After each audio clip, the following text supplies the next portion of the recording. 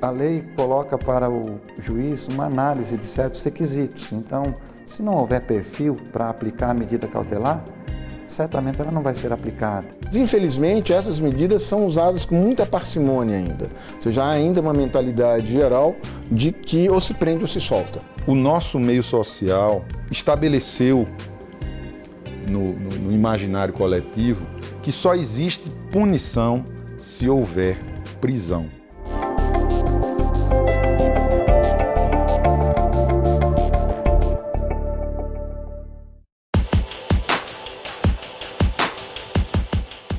Antes da condenação confirmada nas instâncias ordinárias, a prisão ela deve ser a última rácio, ou seja, só se deve prender alguém que ainda não foi condenado definitivamente nas instâncias ordinárias, em último caso, ou seja, quando estão previstos os requisitos que o artigo 312 do Código de Processo Penal prevê.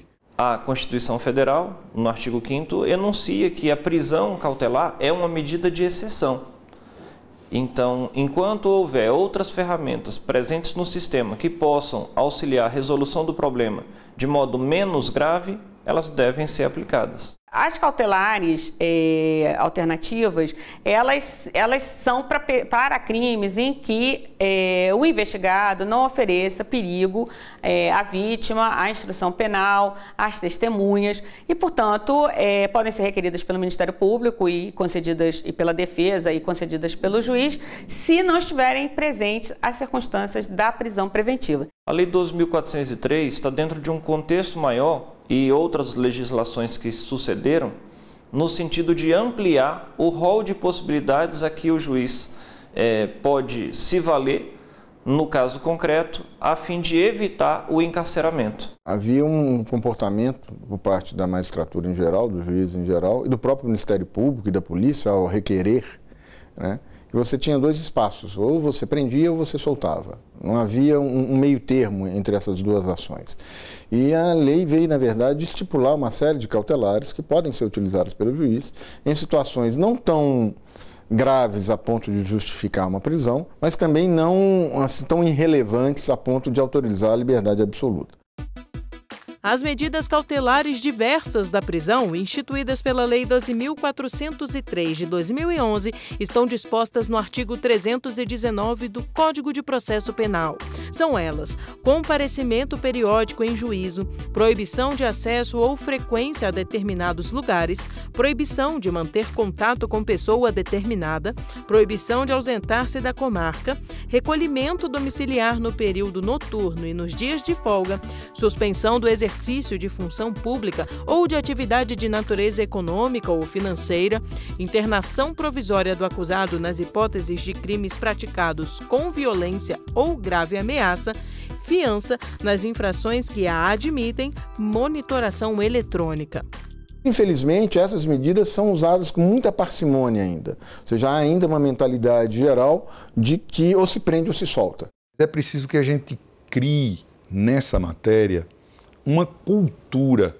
E isso é difícil, porque o nosso meio social, ele estabeleceu no, no, no imaginário coletivo que só existe punição se houver prisão.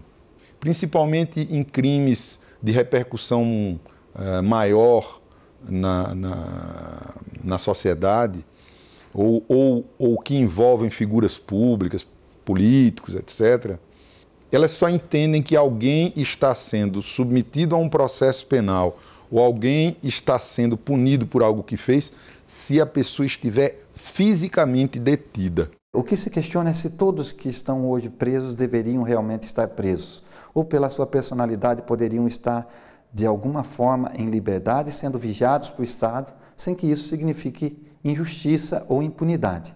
É aí que entra a importância das medidas cautelares com ferramentas, com métodos que permitam ao Poder Judiciário é, decidir em manter a liberdade da pessoa, mantendo a vigilância, mantendo o controle, mas evitando que essa pessoa tenha contato com o sistema penitenciário. E isso é muito importante. Eu acho que nós prendemos muito, isso é uma realidade, mas prendemos mal.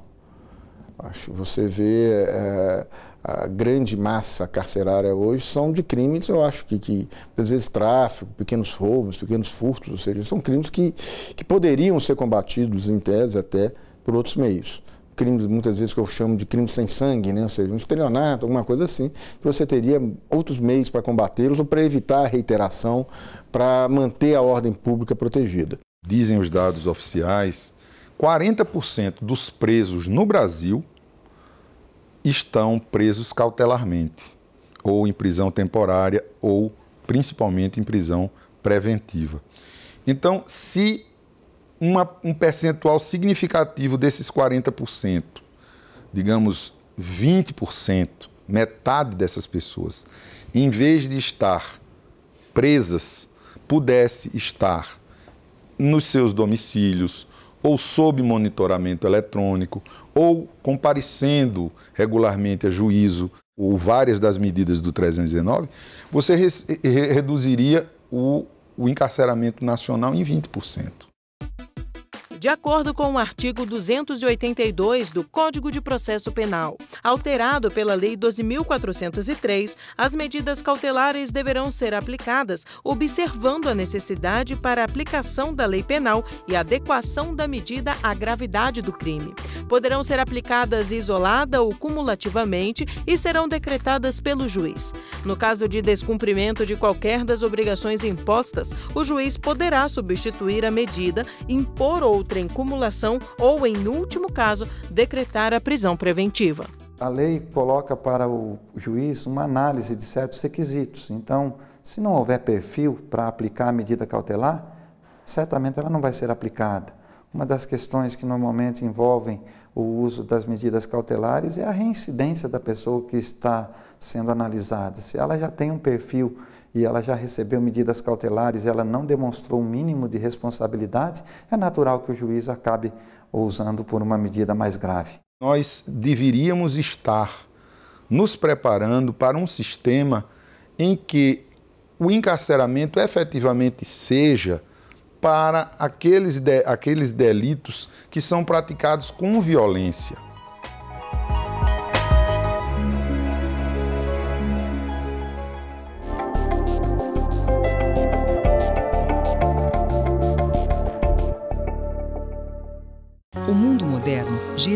Da velocidade da informação que precisa ser segura e confiável.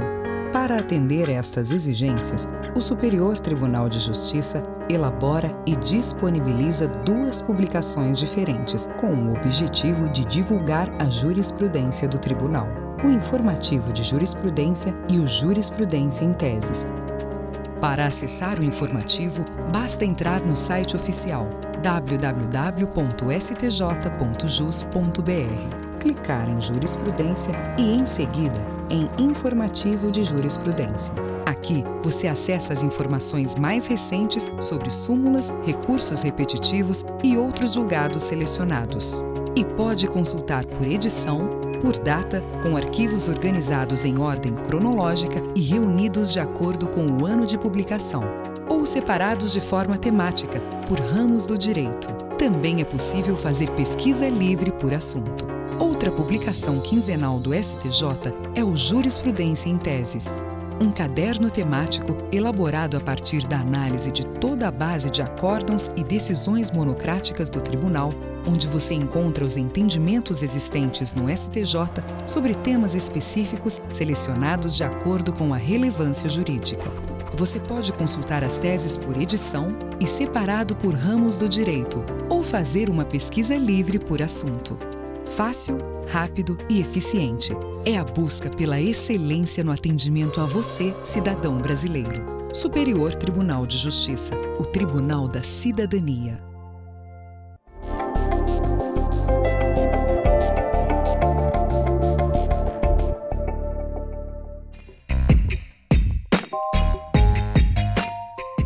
há uma crescente no âmbito da criminalidade, isso é sentido por toda a sociedade, e essa crescente repercute no sistema prisional, há um inchaço do sistema prisional desmedido. O Estado não consegue é, acompanhar construindo presídio e construir presídio talvez não seja a solução ideal a ser buscada. O problema é muito mais complexo, passa por educação, pelo desenvolvimento de políticas básicas, mas o que chega para a gente é só o resultado do que deu errado. Dentro do possível, você deve buscar as outras providências que sejam suficientes e que não conduza a que esse cidadão que entrou muitas vezes por um delito pequeno se torne um criminoso habitual de profissional no âmbito da criminalidade. É uma providência que foi tentada e vem sendo tentada a, a, implementação dela em todo o país é a monitoração eletrônica, o uso de tornozeleiras. A monitoração eletrônica ela não é nova. É, no Brasil nós temos relatos aí de pelo menos 2008, com alguns estados já é, executando a monitoração eletrônica, e nós temos algumas mudanças na legislação penal e de execução penal que possibilitam o uso desse instrumento é, em determinadas situações que o juiz, analisando o cenário concreto, pode optar. É uma das medidas que faz com que as outras sejam cumpridas, possam estar sendo cumpridas, porque aí vai, você vai conseguir avaliar se elas estão sendo cumpridas ou não. Se a pessoa está deixando de é, comparecer a determinado lugar, se a pessoa é, está se recolhendo em casa em determinado horário. Há uma série de pré-requisitos para que você tenha autorização para colocar a tornozeleira e muitas vezes a pessoa para a qual a gente colocaria, ela não entra nos requisitos. Exemplificando, não pode ser usuário de drogas, a pessoa tem que saber dois telefones, eles não sabem sequer o endereço onde moram. A gente trabalha com pessoas muito simples. E aí você questiona, mas você não sabe onde você mora? Ele sabe chegar, mas o grau de escolaridade dele, ele sequer consegue gravar o endereço ou o telefone. Então a gente vê que várias providências são pensadas e idealizadas para um mundo que na vida real não se sustenta. Quando as medidas são pensadas, gestadas pelos órgãos é, é, responsáveis são pensadas por pessoas que não condizem com a realidade social que a gente vai aplicar. A monitoração eletrônica, ela parte de um instrumento de alta tecnologia que funciona com a captação de pontos de GPS e envio de dados através de um, um método chamado GPRS. Então a tornozeleira ela é muito semelhante a um aparelho de celular que nós utilizamos no cotidiano. É, na medida em que o juiz decide pelo uso da tornozeleira eletrônica, ele estabelece duas frentes que são chamadas tecnicamente de definição de zona de inclusão e de zona de exclusão. As zonas de inclusão são aquelas em que a pessoa deve permanecer durante determinado período. E as zonas de exclusão são aquelas das quais a pessoa não pode se aproximar. Quando há a decisão judicial, nós recebemos esses dados de definição de zonas e inserimos no sistema. O sistema vai fazer com que esses dados virem algoritmos, áreas virtuais, que passam então a ser monitoradas tecno tecnologicamente de uma forma muito precisa e eficaz e nos permite receber qualquer evento diferente daquela decisão que venha a ocorrer. A presidente do Superior Tribunal de Justiça, ministra Laurita Vaz, indeferiu o pedido liminar em habeas corpus de apenado, que pretendia cumprir prisão domiciliar sem o uso de tornozeleira eletrônica. A defesa sustentou que o uso do objeto o impediria de realizar trabalho externo com deslocamento constante. Ao analisar a demanda, a ministra explicou que, conforme o acórdão do Tribunal de Justiça do Rio Grande do Sul, o monitoramento eletrônico não impediria que o homem trabalhasse. Bastaria que o endereço do local de trabalho fosse informado ao Departamento de Monitoramento para que fosse incluído na zona de deslocamento permitida.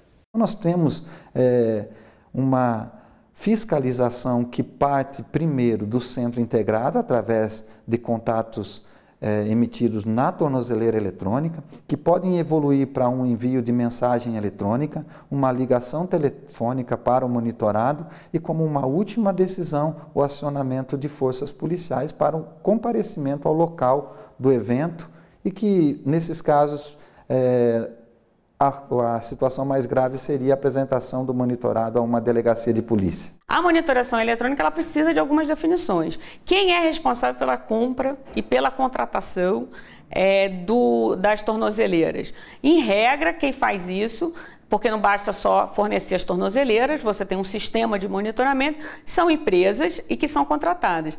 Essas empresas devem ser contratadas pelo Poder Judiciário, federal, estadual, ou, por, ou pelas secretarias de segurança, uma vez que estamos falando ainda de cautelares é, penais. E essa é uma questão é, importante de ser definida, porque a, existem situações, por exemplo, que o monitoramento cessou porque o governo do estado não pagou o contrato é, da empresa de monitoramento. Por outro lado, às vezes o sistema de justiça federal pede emprestado é, tornozeleiras às secretarias de segurança pública estaduais. Em várias vezes eu já me deparei com juízes que, reconhecendo até a possibilidade de se aplicar uma dessas cautelares, é, preferem decretar a prisão porque falam, olha, minha comarca é pequena, eu não tenho como fiscalizar o cumprimento dessa cautelar.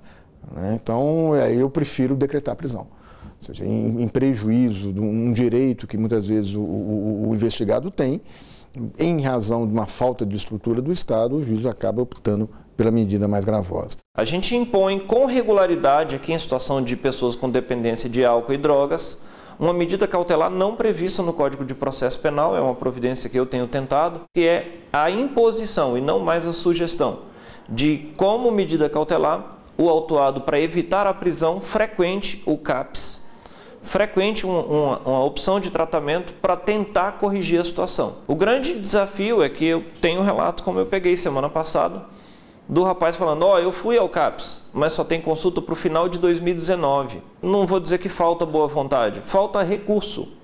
E dentro do contingenciamento que a gente vivencia nos dias de hoje, certamente esse, esse tipo de, de é, tarefa, esse, esse tipo de população não está entre os escolhidos para serem privilegiados pelas políticas públicas. É o que a gente vê. A situação financeira dos estados no Brasil hoje, sabe-se que ela é muito periclitante. Então, o, o investimento público em eh, prisões, ele é um investimento difícil, porque uma coisa é o político dizer que, ah, eu construí uma escola, ah, eu construí um hospital, ah, eu construí uma estrada, uma ponte. Já a construção de uma penitenciária, por exemplo, numa, numa determinada cidade, num determinado estado, embora ela vá abrir vagas para que as pessoas possam é, cumprir suas penas lá, a população não sente nem, nem, nem mesmo indiretamente essa melhora. Quando nós falamos de monitoração eletrônica dentro de uma medida cautelar diversa da prisão, nós estamos privilegiando o princípio da presunção de inocência. O recolhimento dessa pessoa para o sistema penitenciário, ele vai ser a última regra e somente nos casos em que houver envolvimento num crime novo, porque o Estado optou, através da medida judicial, de não encarcerar essa pessoa. Então, todos os procedimentos levam a comunicação do juiz sobre o que está acontecendo, para que o juiz, analisando cada descumprimento, avalie qual a medida judicial necessária. A gente tem uma, assim, uma tentativa do sistema de reduzir o cenário de crimes, de reduzir o cenário de prisões. Agora, se essas providências serão suficientes para conter o ímpeto criminoso, é difícil de dizer, porque a gente não sabe o que se passa na mente da pessoa. Às vezes a gente chega aqui e tem juras de que jamais voltará para a audiência de custódia. O cara sai daqui e 15 minutos depois é preso de novo. Entendeu? É difícil. Em especial com o problema das drogas. É muito difícil evitar reiteração.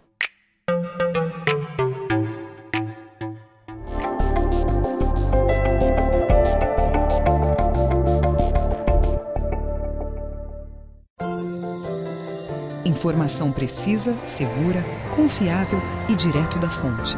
Na página da Jurisprudência do Superior Tribunal de Justiça, você encontra tudo isso e muito mais. Para acessar, basta entrar no site oficial www.stj.jus.br e clicar em Jurisprudência. No link Legislação Aplicada, você encontra o entendimento do STJ sobre a aplicação de determinado dispositivo legal. Isso mesmo, aqui estão os dispositivos legais estudados e anotados com a jurisprudência mais recente do Tribunal. Já no índice remissivo dos recursos repetitivos estão todos os acórdãos dos recursos submetidos ao rito dos repetitivos que já tenham sido publicados. Organizados por ramos do direito, você também pode consultar em pesquisa livre. A página da jurisprudência ainda oferece as súmulas anotadas do STJ com trechos transcritos de julgados do tribunal. Você pode pesquisar por temas, pela ordem crescente ou decrescente dos números das súmulas ou por pesquisa livre. Fácil, rápido e eficiente. É a busca pela excelência no atendimento a você, cidadão brasileiro. Superior Tribunal de Justiça. O Tribunal da Cidadania.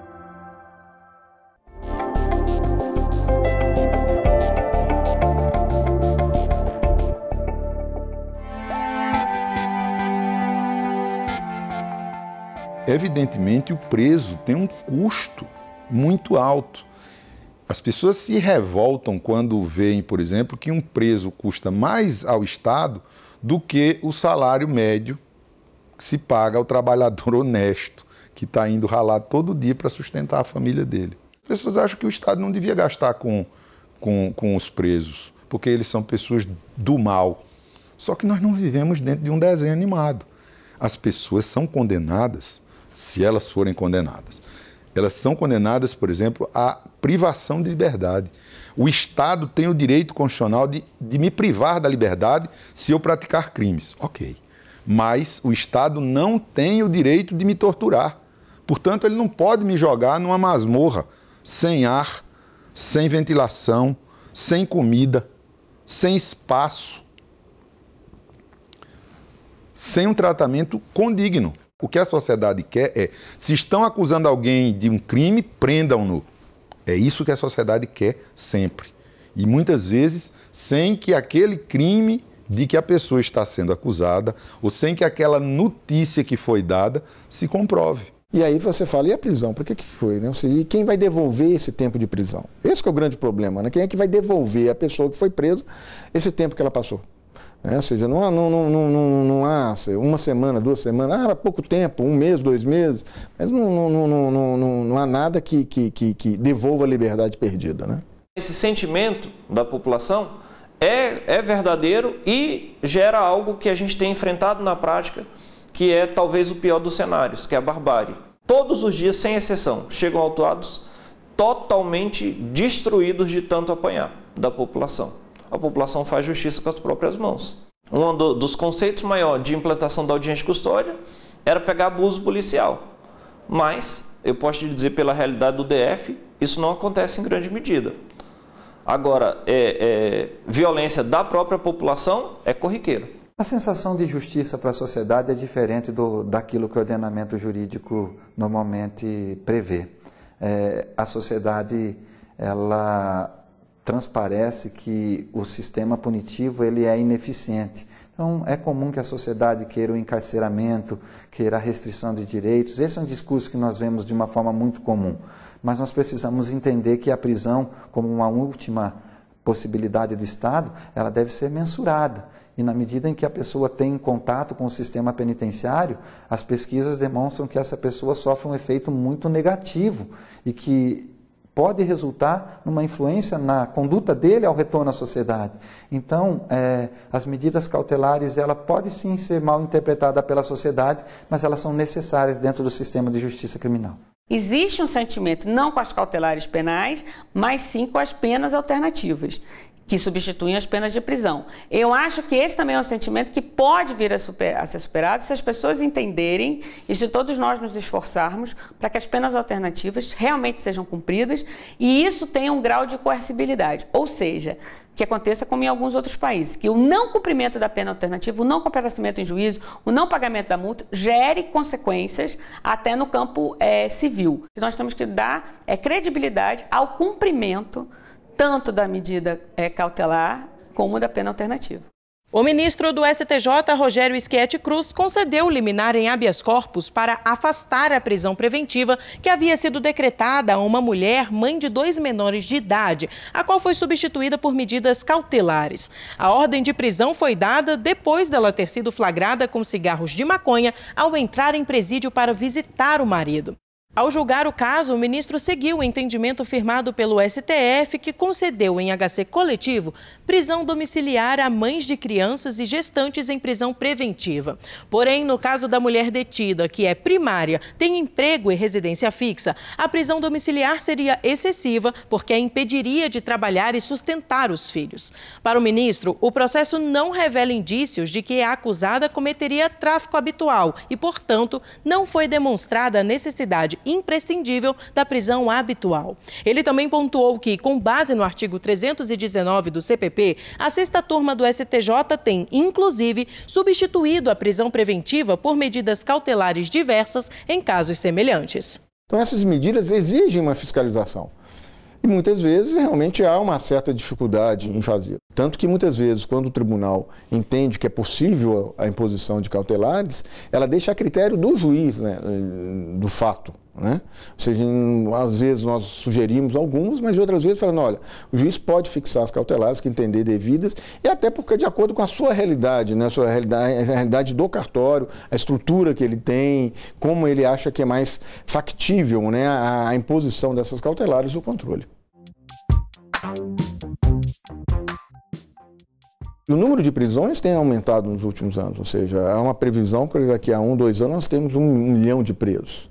Então, não é a prisão que, que, vai, que, que vai evitar um crime, né? são outras ações. Nós temos que ter em mente também outra, que é a garantia de um processo justo, um processo efetivo, um processo célere. Né? E enquanto nós continuarmos a cada um decidir de acordo com sua convicção pessoal, eu acho que isso não vai ser possível.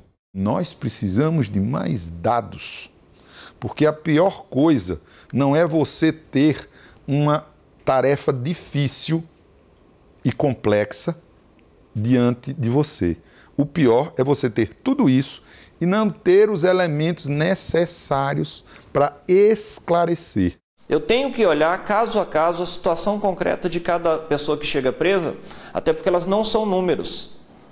São seres humanos que têm, estão inseridos dentro de uma realidade muito maior.